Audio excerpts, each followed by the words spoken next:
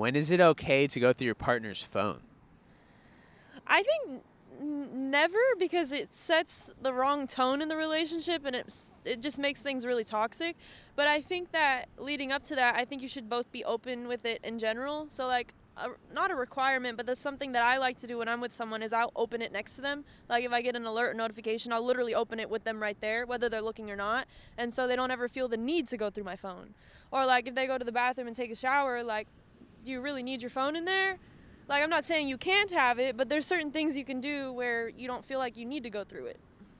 See, that's smart, girl. Smart thing. That's exactly how I am. I'm like, I'll open my phone in front of you. Like, I don't have anything to hide. I don't want you to feel like I have anything to hide. Like, Yeah. let's make this easy and stress free. No one wants to be tripping about it. And I feel like once you do go through someone's phone, like, the relationship is, Yeah. It's tainted a little bit. toxic. Yeah.